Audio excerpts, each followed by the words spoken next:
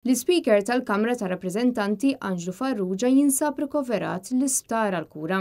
Dan tħabbar fil-Parlament mid-Deputat Speaker David Agius fil-bidu tas-seduta parlamentari tal-lejla. Id-Deputat Nazzjonalista u Whip tal-Oppożizzjoni Robert Cutajar kif ukoll l-Assistent Whip tal-Gvern Naomi Cachia ingħaqdu mal-Aġent Speaker f'messaġġ ta' solidarjetà u awguru ta' fejqan ta' malajr għal Anġlu Farrugia. L-Ispeaker illum għandu 67 sena u din hija t-tielet leġistratura tiegħu bħala President tal-Kamra.